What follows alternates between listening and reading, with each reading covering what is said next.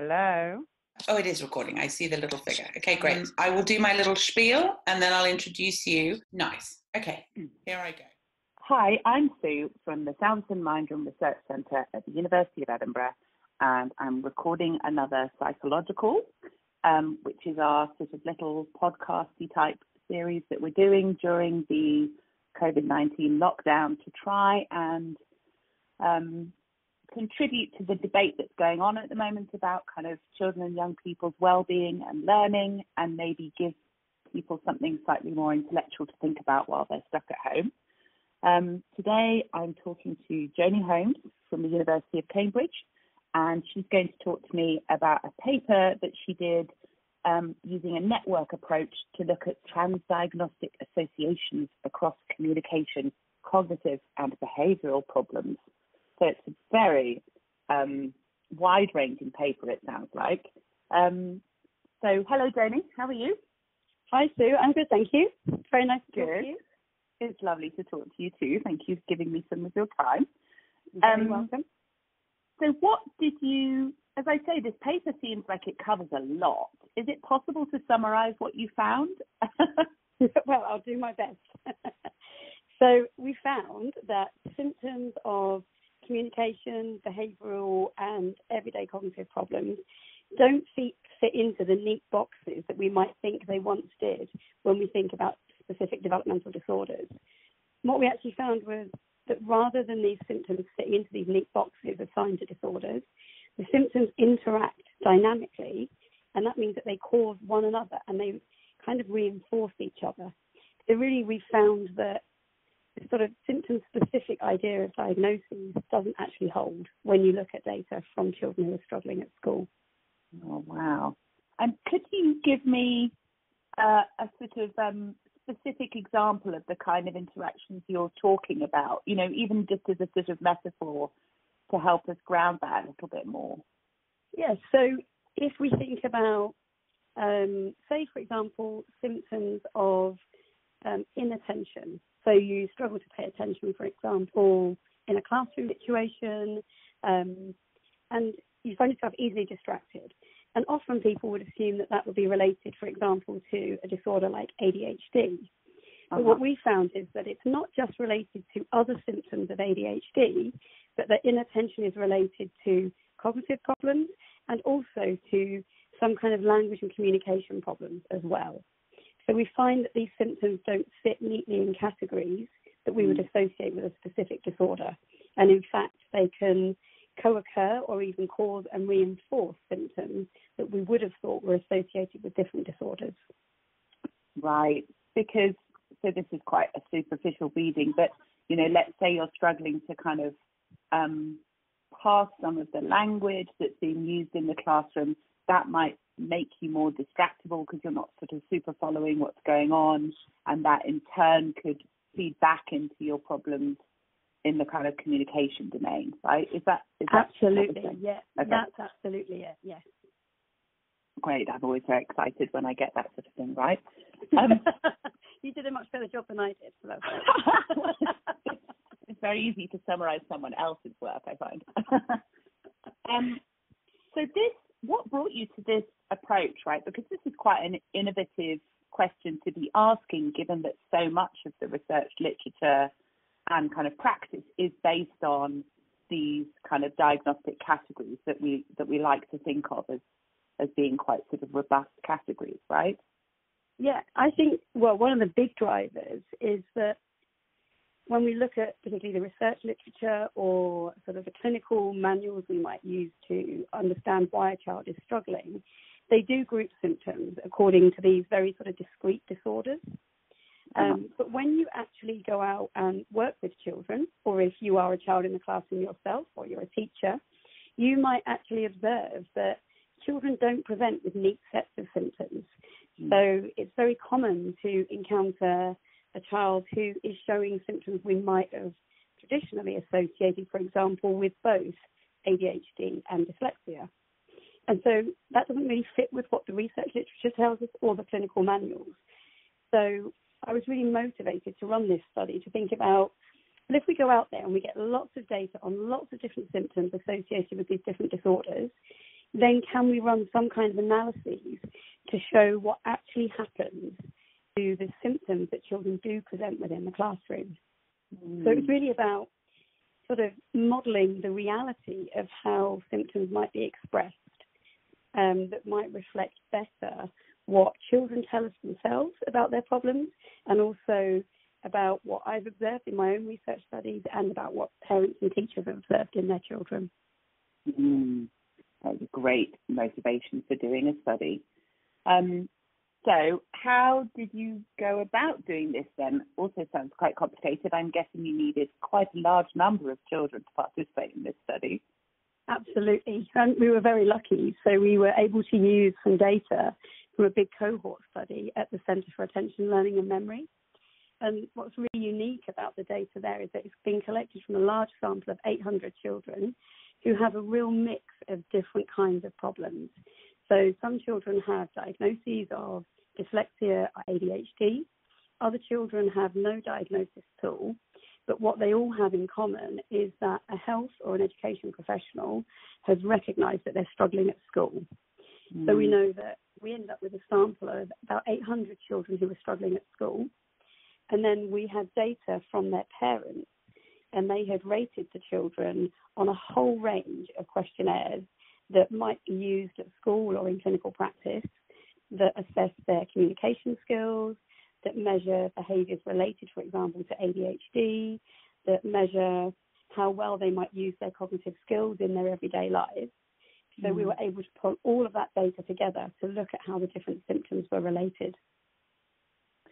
And so, what about the analysis technique then that you employed? So, it mentions a network approach in the title of your paper, and I wondered if you could try and um, help us understand what that looked like. Yes. So, an, um, a network approach is a way of modelling an interaction between some variables. In this case, we were using the symptoms of these different um, kinds of problems that children might have the method that we use, it's based on graph theory, and it sounds really fancy and really complicated. But if you, to put it really simply, it allows you to show how every symptom that you've measured is related to all of the other symptoms that you've measured.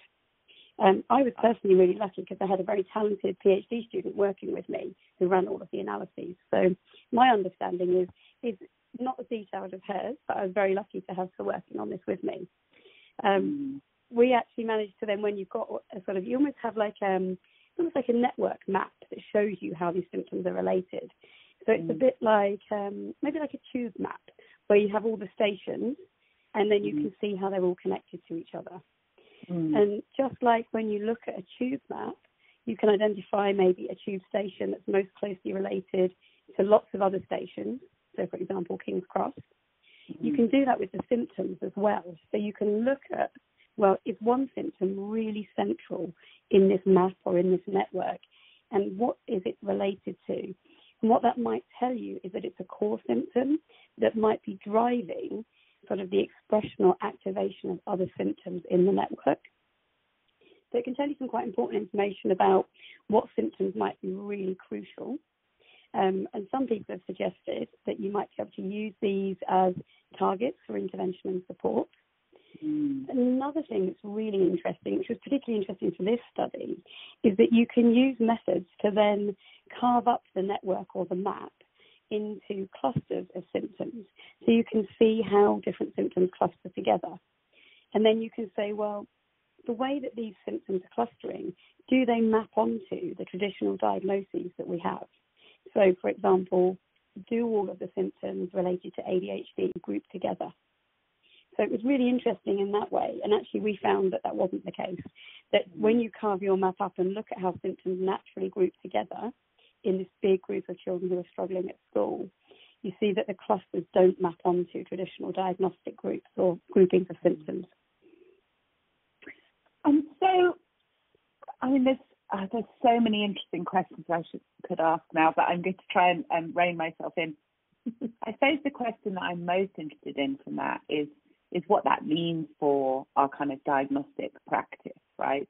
So, yeah. you know, I guess you could argue that the the the challenge of mapping is just that you know, clinical diagnoses have some sort of clinical validity, but it doesn't map onto, you know, the way that parents um, perceive their their children's kind of strengths and challenges or the way that they're manifesting in education settings, right? So it's just a lack of sort of clinical into um, daily life yeah. mapping. Or maybe it means something a bit more profound, you know, that this this um, group of features that we have put into a bucket and labeled ADHD is not actually really a bucket that exists.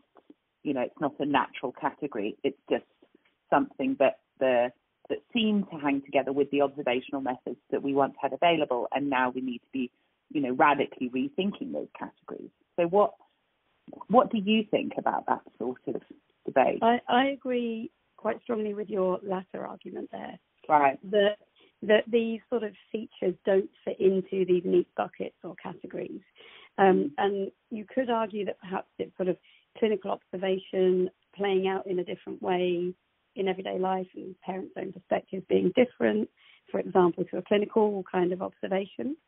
But there are many other studies out there um, have also shown that these sort of diagnostic based criteria don't really map on to what you see in the real mm. world. Mm-hmm. Um, so, based on that and sort of my own understanding of the samples I've been working with for a number of years, um, I think it is time for kind of a, a radical shake-up of of how we define children's strengths and weaknesses. Um, and I think that there's a real challenge to that though, because the language we use, the vocabulary we use, is very diagnosis based. Sort of our cultural systems for assessing and supporting children mm. are very diagnosis based. And so we can show empirically we perhaps need to move away from these sort of hard boundaries between different disorders. Maybe we need to reframe things. Maybe we need to think about it in a different way. But there's a mm. huge challenge in trying to do that because it, I think it's going to require sort of a, a quite a, a, big cultural shift in how we do assess and support children. Mm. Um, and so, I mean, for one example, at the moment you have some children are referred through health services for some support and, um, and some assessment and support. Other children are referred through education. So we've even got two completely different different systems that mm. currently deal with children's strengths and weaknesses. And I think one of the starting points might be sort of harmonizing that into kind of a single unified system and then moving away from these hard kind of diagnostic cut-offs and boundaries and thinking more about the sort of the space and dimensions upon which children have particular strengths or weaknesses. Mm. So it's a huge challenge, I think. Yeah, absolutely. And I, I think the point that you raised there about the way that these diagnostic labels have such kind of sociocultural meaning is, is a really big deal because, as you say, you know, they're, they're a key that we use to unlock a certain amount of service provision and understanding, Absolutely. right? In an yeah. in an ideal world, I mean, it doesn't always um, unlock as much as we might like, but um, but it's also about people's identities and, and sort of self understanding and yeah. you know um, and recognition of of why they might be finding something a struggle or or you know that sort of thing. So it's really it's very important that we don't whip that rug from under people's feet, isn't it?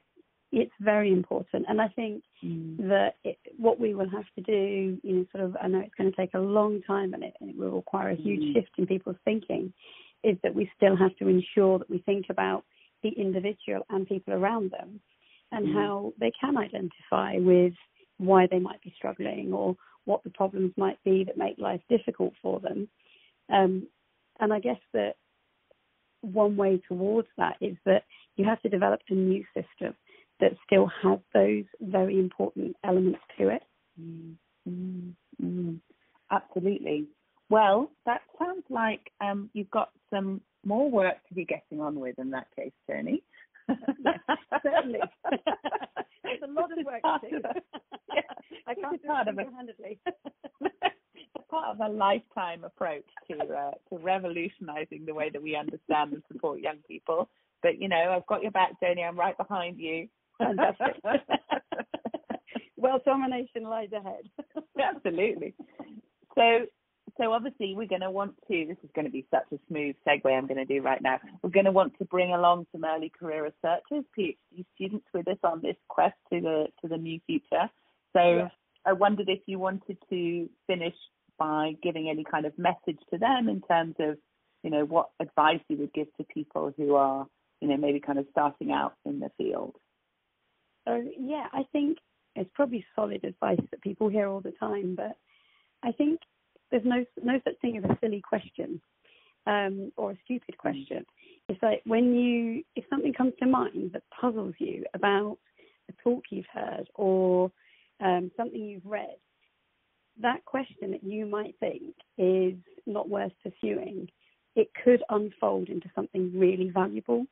So mm. always question things and do pursue your own interests as well. Um, I think sometimes we get drawn towards certain lines of research because we think they might be trendy or exciting at the moment. But I would mm. say trust your own instincts about what interests you and what might be an interesting question to ask. That is great advice. And I think, you know, it seems like the work that you've been doing, that you've been talking about just now, is is obviously the result of of, you know, someone being willing to ask a question that maybe felt like it wasn't the sort of question you're supposed to be asking, right? So yeah, absolutely. It's a question that might challenge so many things on so many fronts, but it's you know it could yield some very important um, results or data or information that could enable us to help and support young people in better ways. Oh, Jamie, such an inspiration. Um, thank you so much for your time. It's been a real pleasure to talk to you. And for anyone who's thanks. And for anyone who's listening, you'll be able to find out more about the work that Joni talked about today by following the links on the podcast page, which is at ed.ac.uk forward slash Salvesen dash research. So thank you very much, Joni. Bye. Thank you, Sue. Bye. Okay, we did it. I thought that went quite smoothly.